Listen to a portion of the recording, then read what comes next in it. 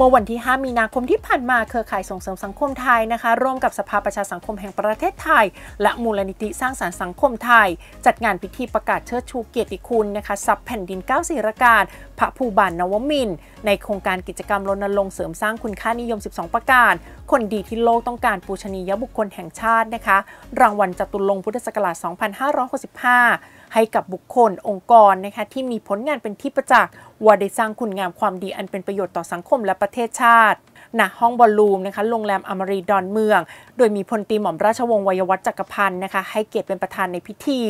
และผู้ที่ผ่านเกณฑ์การคัดเลือกและพิจารณาจากเหล่าคณะกรรมการผู้ทรงคุณวุฒิให้เข้ารับรางวัลจตุรงค์พุทธศักราช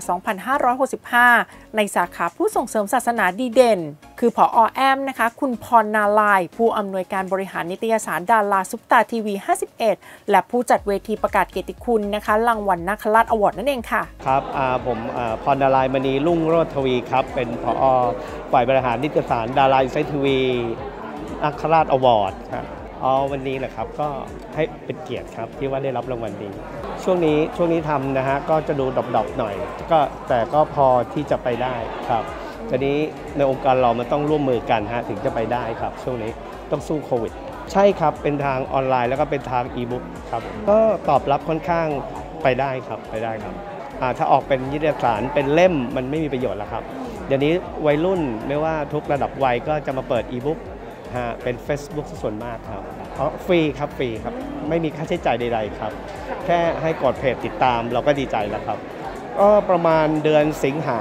อ่ารางวัลนักคาราอวอร์ดครั้งที่ 4 ที่ 4 จัดไปแล้วครับ ตอนนี้จะเป็นครั้งที่ 5 ครับ ขอโทษที เพราะว่าช่วงที่ผ่านมา 3 ปีติดโควิดครับ ก็เลยจะเริ่มดำเนินการ ประมาณเดือนสิงหาฮะนักคาราชอวอร์ดครั้งที่ 5 ครับผม ลึกๆมีความยินดีครับ แล้วก็เหมือนมีพลังที่ว่าเรามารับแล้ว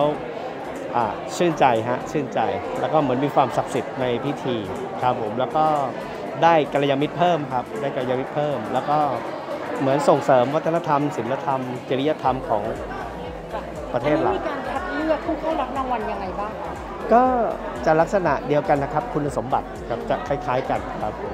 อ่าก็จะมีเพจดาราอินไซต์ทีวีดาราซุปตาทีวีครับผม แล้วก็ติดตามทางอีบุ๊กครับผม ก็พอถึงเวลาก็จะเปิดออนไลน์ให้รับสมัครได้ครับ